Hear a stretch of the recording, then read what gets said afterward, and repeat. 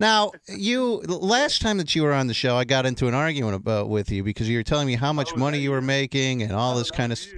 Yes. Yeah. and and yeah, I didn't like you at all. yeah, uh, that's we good. like well, you the feeling's either. mutual. Now, about two or three weeks after you got done telling us how much money you were making and you were rolling in the dough, I see that you posted online an appeal to your users to please donate because you were out of money. What happened in those two or three weeks? Who? How, you contacted me.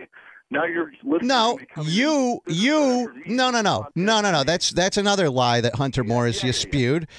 You contacted us to promote your stupid party, you douche. Fuck all this shit on my fucking Tumblr. Y- You're a bald-headed fuck who's irrelevant as shit, and I'll be in Ohio. Right. What are you gonna do then? Exactly. I'll come down there and kick your ass, you little bitch. Dude, I will rape your fucking co-host in front of you.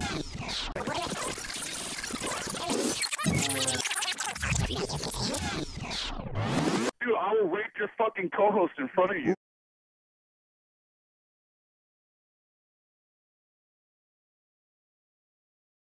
Dude, I will rape your fucking co-host in front of you.